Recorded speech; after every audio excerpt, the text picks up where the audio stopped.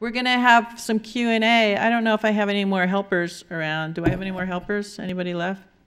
Um, we're just, I guess we're just going to have people yell out their questions. um, I'd like to start a question though with Liz. Um, your film is really fascinating and it seems like it was filmed over a kind of a wide period of time. I can tell by my hair, hair length. Yep. Um, can you talk a little bit about how you started it and then where it went and how it ended up Um, being what it is? yes. Um, it was, you know, for me, in, in some ways, uh, a bit of a home movie. I was working with a f- friend of mine, Karen Merchant, and uh, we were both in film school. And I'm not one of those kinds of filmmakers that can, you know, write some fabricated story and do all the production. I'm someone who really loves to kind of uh, capture what I observe. And um, at the time, I was spending most of my time just chasing the bands that I particularly enjoyed, and also, you know, it was, you know, the energy and and it was just the time, and it was where I wanted to be. So I was whatever we had, whether it was our still cameras, our Super 8 cameras. Occasionally, we could get a 16 millimeter camera and the Nagra out when there was no equipment that was working. We would find a reel to reel in those days, in the 1970s, with the big old TV camera. And basically, this is a, a film that I, we never finished, as you can tell. All that slug at the end, my apologies. Um, and it was, in some ways, that slice of life, what we were doing, kind of what we were listening to at home, the vinyl we were spinning. So you get all that kind of intermixing in. It makes it extremely messy. So um, I hid this film for as long as I could, you know, in some box in the back of a closet, and um, it, it got seen by a couple of people who liked it the way it was and the kind of energy we didn't in some ways i guess have time to edit that raw kind of feeling we had about where we were at out. And so um, because we you know we just let it go. So um, that's what it is. And recently uh, i'm the one of the film curators at the exploratorium and we had an amazing archivist up from UCLA, uh, Dino Everett, and he managed, yeah, he's a phenomenal guy, uh, incredibly knowledgeable.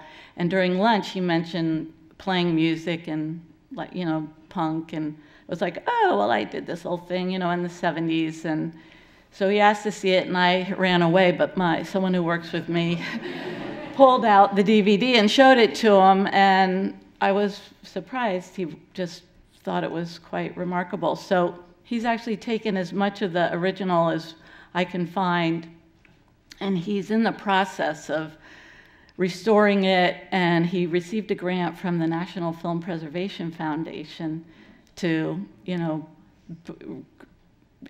uh, transfer it to digital and create a HD. And so in the meantime, I'm looking for whatever other artifacts. So thank you for mentioning the uh, history department Mhm. because there's plenty that I've got in that Oh, yeah. closet. Oh, Um, cool. Great. So whatever else in the process now, you know, kind of repaying attention to it, but, um, so apologies for how messy it is, but. Glorious mess. Yeah, but see, it makes a great companion in many ways, because Mindy's film, you know, you can identify the bands, we're all over the map, but there's a lot of the, s- it's the same time. And I also want to thank Mindy because encountering him at the MAB, he was phenomenally generous. You know, when we're, we show up finally with our 16 and, and, you know, the Nagra sound recorder, and he would help, you know, hey, you guys, we're going to set up some lights here, but you can stand here instead of going, this is my territory tonight. Get out of here, kid. So, um, you know, just a phenomenal people to work with.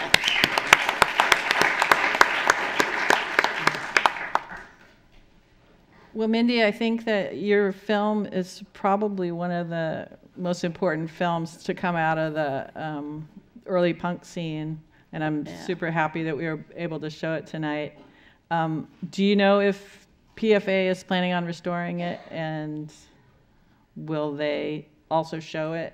Or Well, they've already uh, restored it. They were very generous and they made a um, new um, um, uh, internegative copy and they made two prints that are available for rental from the Pacific Film Archive. So when I made the film, I never even thought of those kinds of things and um, it keeps on living. yeah, Yeah, right on. wonderful. That's great sound. It's so exciting to see all those folks.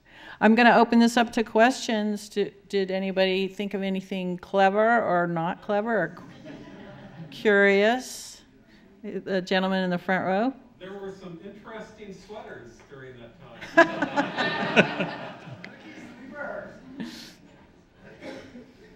Um, yes, that's a statement. We had interesting sweaters. We were always shopped at the thrift stores. That was uh, de rigueur. So um, sweaters was a lot of what you got. We have a question from Marion. It's this is kind of technical, but I was wondering, Liz, you had a spot. I think it was the Dils where you just did stop motion. I mean, I wondered why, or was there something technical? You were- I, I, I think some of that is just the way we were editing it. You know, we would shoot. I would blow up instead of eating whatever. You take whatever little money you have, and we would blow up all the. We blowed up all the Super 8 to 16, and then, you know, out of all that, we I I wanted that mix of materials. I wanted there to be that materiality, and so cutting it up with other things, and sometimes it would be maybe you know, I had a little trigger on my Super 8, so you could, you know, do a little bit of that, you know. With the camera. But some of it, we also, uh, us, you know, some of it was optically printed. That's, we, we did some of that. You know, I, I was in film school, so, you know, you were, besides testing a bunch of stuff. It was whatever you could get your hands on. And then I just loved the 16 millimeter. You could work with it so much better. So getting all of it blown up for us meant that we could work with it. And it was, in some ways, you know, it was, as I said, it was a, for me, a phenomenal time in terms of the kinds of issues that were being addressed, but also that physicality, the mosh pit, all of it. And I wanted that captured as much in the material as it was, uh, you know, kind of captured on film.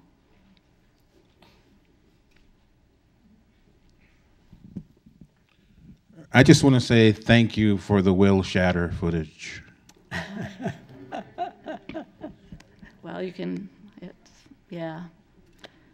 He was an amazing person. I see a question in the back there.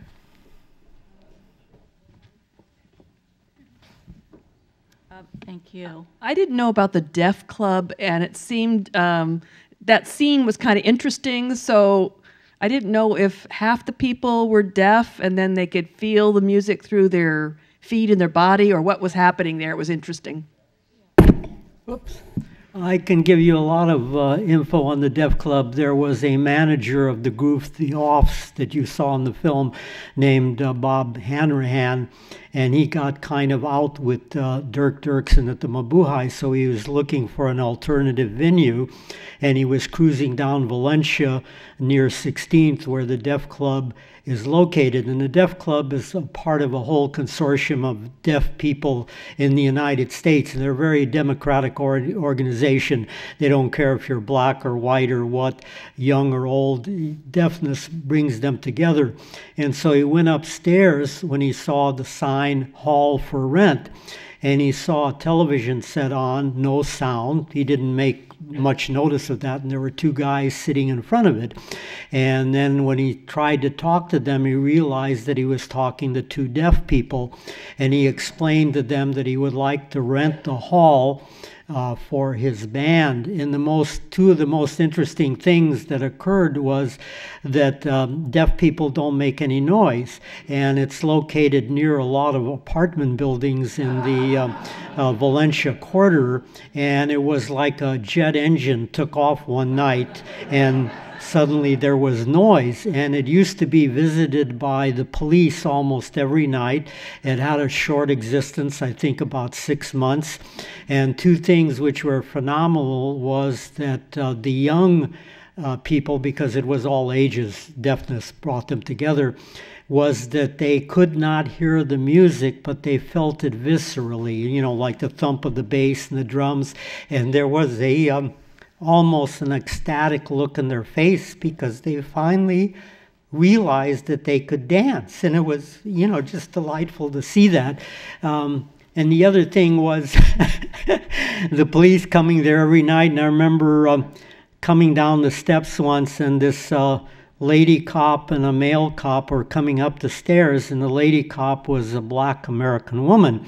And I had my black leather jacket on. She looked at me and she says, Black is beautiful. I thought that was really cool, but it didn't last very long simply because of the noise level that occurred in the neighborhood. So that's the uh, short history of the Deaf Club. And there was a little artifact in the film. You saw this notebook. I don't know how many. I noted it because sitting at the bar, a lot of the ways that those of us that don't know how to sign would communicate was we would just write back notes back and forth. And so there was there there was an intermixing of you know the communities. It was a really it was a prime spot for as long as it lasted. Um, I just want to add that it was a rather shoddy structure, and that the floor would move. And that one of the, one of the reasons why the deaf people could dance was because they could feel the music through the floor, which was going like this, pretty much. Uh huh. Yeah. Any more questions out there? Yes, the gentleman in the Yeah, back. did you ever get harassed? Because I know if we saw the media at our shows, we didn't like the cameras there. We didn't want to be popular. We wanted to keep it our scene. Never happened to you? Not that I recall. No, Okay. not that I recall, but you know, it's like that's 40 years ago. Maybe I've diminished those memories. I think that we probably wouldn't have considered you guys the media.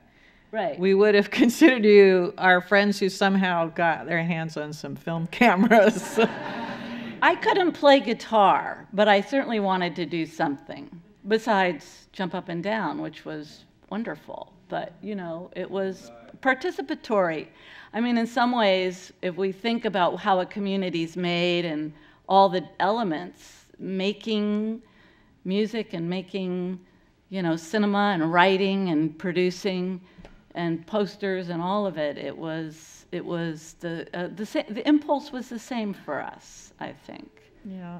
No, it was a very um, communal or community existence in that um, you would see people in the audience and they would look up and they say, Man, you only need to know one chord or maybe two or three and you can make music. I can do that. So the next week they would be on the stage. And it had a delightful, you know, uh, continuing resurgence. And uh, because uh, I'm 83 years old. I've been around the block a couple of times, and I've been a, uh, a beatnik and a uh, uh, full-time hippie and a punk, and I think all those three elements are still in me. and uh, I always look for community. And in the United States, the way things are going, we are being alienated from each other, irrespective of race or you know creed or anything. And I think that uh, my reason for joining that scene was that it was when people themselves were feeling certain things and they needed to express these things. And that's a very human attribute. And I think we can't deny it. I mean, otherwise, we wind up in a concentration camp. And uh, uh, Nazi Germany is an excellent example of that. They would never last because the uh, spirit to be free is totally ingrained in our DNA. I believe that, you know. So I think uh, these kinds of expressions are very uh, useful in promoting our humanity, if you will.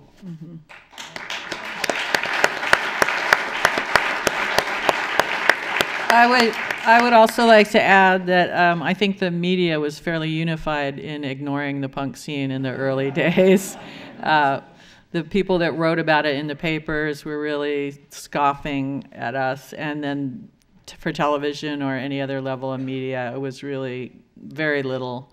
Um, very few radio stations were playing, maybe two radio stations. So, uh, yeah, we didn't really have that much interaction with the media at all. And that's another reason why I would love to have anybody donate whatever they can to the archive so that we can sort of keep the real uh, record of what happened uh, alive.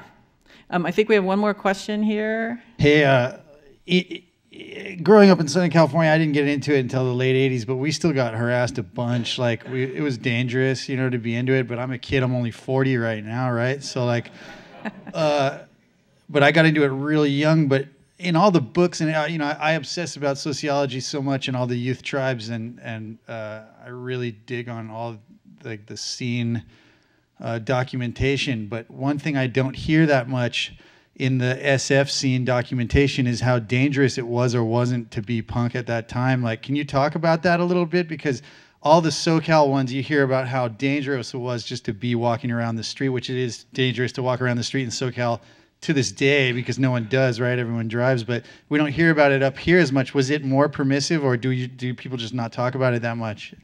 I would say um, that the scene in 77, 78, 79 really was was pretty small. And um, i think a lot of people i had blue hair sometime in i guess 78 and a lot of people just had never seen that. They just their mouths would just drop open. Uh, kids on the bus would be like oh your hairdresser hates you you know? It's like they did not recognize what we were if you were walking around for for the older you know brothers and sisters of mine in the scene uh, they've turned me on to just how like sketchy that was to be that person where we grew up you know back then. And then i moved to sf because of that reason like in the mid 90s but i you know i was like younger. But since we don't hear about it that much as being up here and my older buddies which i have shitloads like i have a lot like all my i'm on jack's team a lot of my bros obviously were in the scene with you guys you know Nosmo and paul castile and John Marsh and everybody, you know, like Kevin O'Connor. You guys know those dudes growing up, but uh, they don't talk about how sketchy it was back then. Maybe it wasn't that bad up here, uh, you know. Well, uh, I personally, uh, I personally feel we live in much more dangerous times now. I'm uh, noticing a lack of manners when you walk down a street and a person's coming towards you. He totally does not seem to be aware of your presence and you are the one that has to step out of their way and when i was growing up as a child in los angeles you stepped a little bit to your right and the other person stepped a little bit to the to the left and now also because of the electronic media uh, people are totally not paying attention to reality. They're paying attention to virtual reality. And I think that's a very fascistic direction. And I think that the powers that be love to see that because power needs control. And anyone that is out of control, however that manifests itself, is a danger to the powers that be. And I think they're producing a bunch of sheep. Uh, and I find that very much more dangerous now than, you know, don't forget because of my age, I grew up after the Second World War when the GIs came back and Nirvana was on the headlines, you know, and you were able to, as a working person, buy a home, send your kids to school. You can't do that anymore. And I think that the powers that be like that because they're consolidating their hold over you. And the more electronic media comes into play, the less you will understand reality. That's just my personal view, but I, I'm seeing that every day. I live in North Beach, so I see both the tourists and I see, you know, the people that live in North Beach, and it's a, it's chaos. Let me tell you, it is chaos.